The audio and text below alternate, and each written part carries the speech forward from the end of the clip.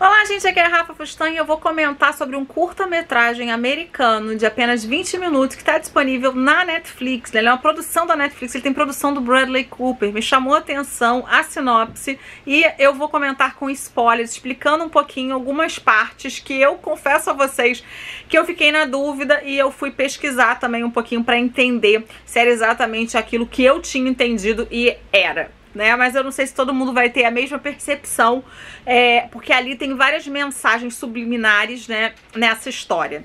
Corrosão, que no original chama Weathering, uh, tem apenas 20 minutos, como eu disse pra vocês, e é escrito e dirigido pela Magalyn Erikunvolk. Acho que é assim que fala o nome dela. É, ela é americana, mas tem sobrenome, né, de origem africana. É, e a gente vai conhecer a Gemina, que é Alexis Lauder. Logo no início, essa mulher está tendo um filho ela tá é, muito preocupada ali dentro de um hospital, sendo atendida por médico, por um médico, por enfermeiros, é, mas ela tá bem desesperada porque ela tá começando a sangrar. Por diversos momentos nesses 20 minutos, ela tanto tá acordada, mostrando o que tá acontecendo pra gente, como parece que ela dorme e a gente vê através dos sonhos dela. Ali, o que a gente vai entender no, no total é que ela é uma mulher que tá perdendo seu filho, ela tá com sangramento, ela acorda no hospital e ela já não tem mais a criança, conseguiram salvá-la, né, depois de uma pré-eclâmpsia e tal. É, e ela tá viva, mas ela tá sem nenhum apoio ali, a gente não vê ninguém no hospital diretamente com ela, a gente só vê um médico é, que não tem muito tato, na verdade a gente percebe isso logo de início, e ela então vai para casa, é, mas o momento dela em casa já é dela correndo na rua, tentando, né, voltar ali essas atividades normais. Ela vai ter a mãe dela, por sinal a mãe dela, gente, é aquela atriz maravilhosa que eu adoro, que é a... O nome dela, gente? Alfie Alki. Acho que é Alki.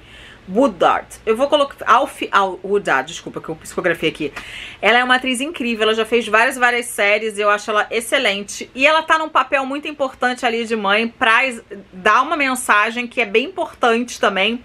É, eu sei que eu tô repetindo muito importante, mas é que eu vou entrar nos pormenores a, a, tá, agora, e aí por isso que, que eu não quero dar já, quero dar uma visão geral e depois dar o que, que é cada entendimento desse. Essa mulher, então, essa protagonista, ela passa a ter pesadelos, né? Ou a gente não sabe se ela tá sonhando, se aquilo tá acontecendo. Após a visita da mãe, é, ela começa a piorar ainda mais. Ela começa a ver como se alguém estivesse ali a perseguindo, como se alguém estivesse agredindo. Ah, ela ouve passos pela casa, a porta da casa tá aberta. Ela chega a chamar um amigo ah, para ajudá-la, né, para entender ali o que está acontecendo. E a gente percebe que o marido a abandonou. Percebe? Não, na verdade, ele não tá mais em casa. Tem algumas fotos do cara pela casa. Mas ela fala com a mãe dela: olha, fulano foi embora né? Abandonou. Ela perdeu o neném e o fulano foi embora. Que era o marido, namorado dela, sei lá. Bom, a gente fica ali querendo entender se tem alguma coisa de terror, de sobrenatural. Ela vai cair dentro da piscina, ela vai ver uma pessoa de capuz indo atrás dela. O que que tá acontecendo nessa história? E aí eu fiz algumas anotações para vocês pra gente entender é, que mensagem que tem por trás dessa história tão forte, tão potente, que tem sim é, uma importância grande quando a gente passa a entender o papel da gente na sociedade né? O quanto a gente é vítima muitas das vezes e o quanto a gente também repete um discurso que é extremamente errado e falta empatia nas pessoas. Essa é uma palavra muito usada, né? A falta de empatia e tudo, mas é porque a falta de se colocar no lugar do outro é muito comum. E eu vou falar com vocês o que acontece. É, um homem covarde, né? É, aquela história na alegria e na tristeza, a gente vê que é na tristeza que a gente vê se a pessoa gosta de você mesmo. Gente, em todos os relacionamentos, né? É, familiares, é, afetivos, enfim, né? Aquele amigo. Quando você tá bem, é muito fácil ser seu amigo, muito fácil estar tá com você. Você tá alegre, você tá super bem, né? Enfim, quando você tem problema, aí você passa a ser menos interessante. Ela tá muito mal, ela acabou de perder a criança, ela tá se sentindo ali é, porque ela disse que estava sentindo as dores, né? E ela não foi ouvida. Eu vou entrar também nessa questão do médico. E ela é abandonada pelo marido. A gente tá, viu agora essa semana, a, ou semana, essas semanas agora que passou, a Preta Gil, por exemplo, que é, é uma cantora famosa e tudo.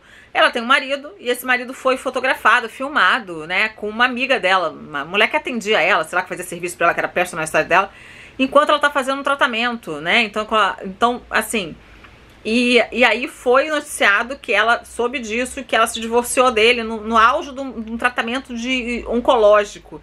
Então, assim, quando a pessoa tá extremamente debilitada, ela pô, chegou a postar ela com olheira. Por que, que eu tô comparando isso? Porque nesses momentos, seja homem ou mulher que fizer isso, é uma pessoa com falta de caráter, né? Uma pessoa que está pensando só em si mesma. E é muito fácil as pessoas serem extremamente egoístas, né? E não verem ali, não entenderem a dor do outro, não se colocarem no lugar do outro. Então falta amor, mas falta empatia também.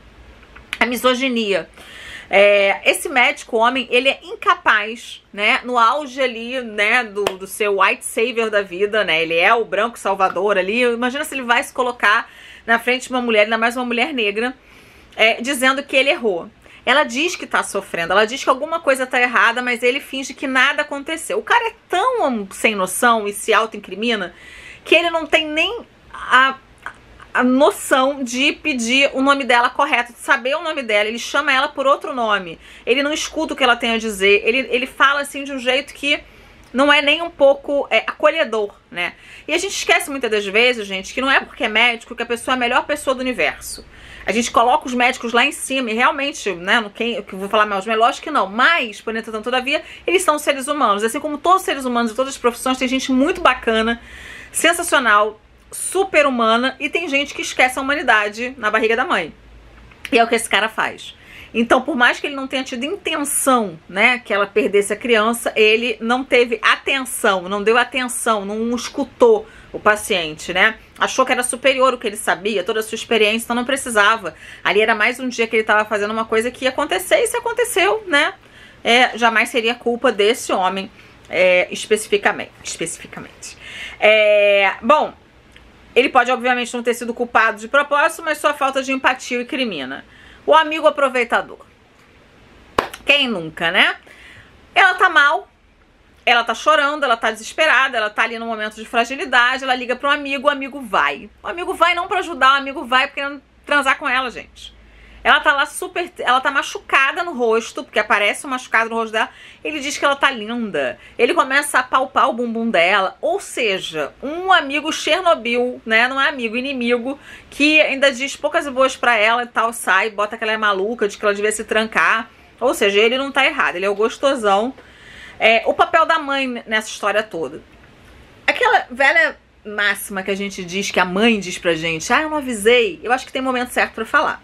Porque se você tá na M, tá no momento frágil, você foi abandonada pelo seu marido, é, logo depois de ter sofrido um aborto, de, de saber que poderia ter sido de repente evitado se o médico tivesse te ouvido, você tá ali num momento emocional muito abalado, você é uma jornalista que não tá conseguindo escrever o seu artigo, você não consegue saber mais o que, ter noção de realidade do que não é realidade. E aí de repente sua mãe te visita. Mãe, que é aquela pessoa que é pra te abraçar, pra te sentir melhor, pra te dar aquela força, né? Mãe é mãe. Mas aquela mãe, ela opta naquele momento por lembrá-la que ela disse: Ah, eu disse, eu não te disse que não era para ter filho no hospital? Você não me ouviu? Aconteceu o que aconteceu, perdeu a criança. Naquele momento, aquela mãe diz aquela frase infeliz que piora ainda mais o estado mental da filha. É, as pessoas fazem sem perceber, né, que fazem esse tipo de coisa. Gente, o final é ela entendendo seus fantasmas, entendendo que não tem ninguém a perseguindo, entendendo que a culpa dela que tá fazendo com que ela veja essas coisas e viva esses momentos de conflito. Ela não se sente nem mais útil para escrever o artigo que ela precisa, mas quando ela passa a entender qual é o papel dela de contar a sua história, para que outras pessoas não passem por isso e para que outras pessoas vejam que não devam fazer, não devam fazer isso com mulheres e mulheres negras também, é muito importante. Então, a gente vê isso quando? Quando é que ela se liberta disso? Quando ela escreve o que será necessário para proteger as, as, mulheres negras. É o artigo que ela vai escrever, então, contando ali, dando seu depoimento, para que outras mulheres que se sintam naquele jeito possam evitar ou né, tenham também ali é, mais força de não se sentirem tão culpadas pelo que aconteceu. É isso. Eu adorei o curta-metragem. A minha nota é excelente. Eu vou ficando por aqui. Um beijo grande. Até o próximo vídeo, pessoal. Tchau, tchau.